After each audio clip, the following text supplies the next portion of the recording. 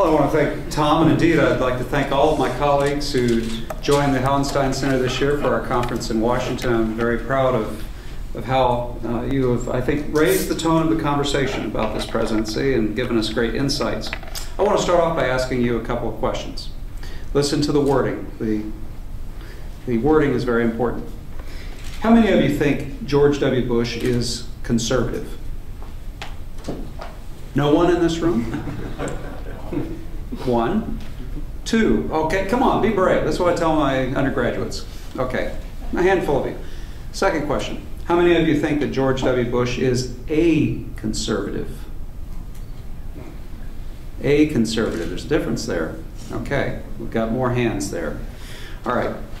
Well, my title uh, for this paper is The Anatomy of a Divorce Conservatives versus George W. Bush. I've set you up. Got those of you who already are committed to this.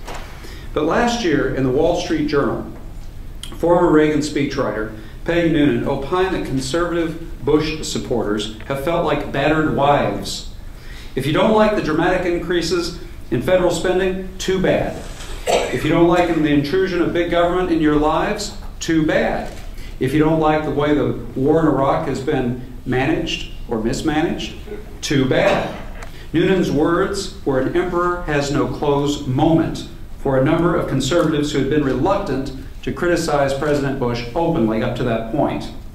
Now, in this paper, I propose to look into why prominent conservative opinion leaders began distancing themselves from the 43rd president well before Election Day 2008 and even before Election Day 2004 we will get to the divorce from Bush in a moment. But the first order of business, it seems to me, is to provide some context. This is something Kasey Pipes was trying to do in his talk. Provide a little context, both theoretical and historical, to explain how it happens in American history that opinion leaders who are originally support, supportive of a president come to break with their president. There are at least four factors that contributed to bringing about these uh, messy divorces. First, Sir Isaiah Berlin observed that there has always been an inherent tension between the intellectual class and the political class. The trouble with academics and commentators is that they care more about whether ideas are interesting rather than whether they are true. Politicians live by ideas just as much as professional thinkers do, but they can't afford the luxury of entertaining ideas that are merely interesting. They have to work with a small number of ideas that happen to be true and an even smaller number of ideas that happen to be applicable to real life. In academic life, false ideas are merely false, and useless ones can be fun to play with. In political life, false ideas can ruin the lives of millions, and useless ones can waste precious resources. An intellectual's responsibility for his ideas is to follow their consequences wherever they may lead. A politician's responsibility is to master those consequences and prevent them from doing harm. That's the, really the essence of Berlin's argument. Second part of this context our winner take all system can aggravate the tension by encouraging compromise. Our system lives on compromise. We are taught that we have a two party system that tends to suppress third parties. And in most elections, people don't want to throw away their votes on a candidate who really doesn't have a chance to win. What has evolved over the past 100 years, however, is a four party system, and this is brilliantly laid out by Professor Gary Gregg at the University of Louisville. And you see how it works in the presidential primaries. In 1992, for example, the moderate Republican Party was represented by George H.W. Bush. The more conservative Republican Party was represented by Pat Buchanan. The moderate Democratic Party was represented by Bill Clinton, and the more liberal Democratic Party was represented by Jerry Brown, Governor Moonbeam. Moonbeam. Now, the winner take all system established by the Electoral College encourages the moderates and the true believers in the same party to merge in order to win elections. As we see repeatedly in American history, ideas are moderated, compromised, and amended in this merging process. This merging often leads to dissatisfaction among opinion leaders And when the true believers among them become frustrated by the compromises of the president, they face a tough choice. Either stay at home and suffer or get a divorce. And at key turns in American history, opinion leaders have served their president papers. And that leads to the third contributing factor in political divorces from a president. On numerous occasions, the true believers in a party have split with their president because there were too many compromises, too many violations of principle. SMU political scientist Joseph Kobylka has traced these breaks, and they go back centuries in our history. Indeed, he calls the Declaration of Independence the culmination of this petitioning process, whose roots go back to Magna Carta and the Petition of Right back in 1628 that Parliament presented to King Charles I.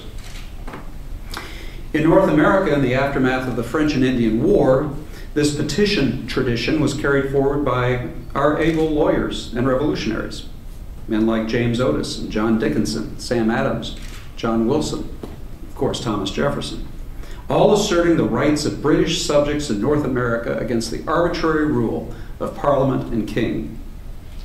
American writers and leaders had no trouble carrying on the tradition they'd inherited from Britain, and Jefferson famously, famously, if surreptitiously, broke from the indispensable man himself, George Washington, even though he had already served as his Secretary of State. And a few years later, high Federalists, egged on by Alexander Hamilton, broke from their president, John Adams. This occurred in the months leading up to the election of 1800, during the quasi-war with France, and arguably it is one of the factors that led to a change in the party, occupying the White House. In the last half century, as the last example, the most famous divorce between the president and opinion leaders in his own party occurred in 1968. Who can forget Chicago, 1968, when prominent Democrats broke with Lyndon Johnson over the conduct of the Vietnam War. In fact, Johnson, of course, had already said he wouldn't run for re-election that year. He had been so demoralized. This split, too, contributed to a change in the party that would win the White House that year.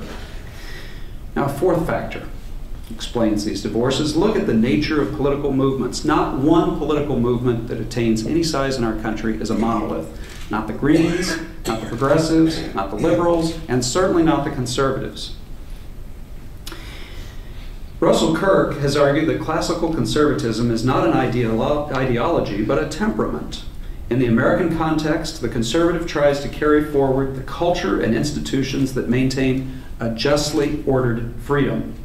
This traditionalist conception of conservatism has hardly anything in common with the libertarian emphasis on self interested individuals in a free market, or with the neocons' ideological mission to expand America's power and influence abroad. In post World War II America, it took the tireless efforts of two great unifiers to turn conservatism into anything resembling a movement.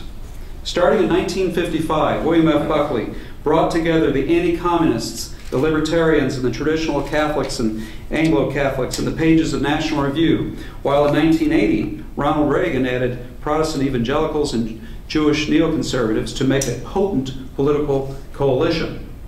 This is the coalition, though it showed many, many signs of fraying, that George W. Bush inherited in 2000 when he became the 43rd President of the United States. So, to sum up the argument thus far, four factors the inherent tension between intellectuals and politicians, our winner take all system encouraged by the Electoral College, the Anglo American tradition of dissent going all the way back to Magna Carta, and fractious movements all bear on the high profile divorce that took place between prominent conservative opinion leaders and President George W. Bush.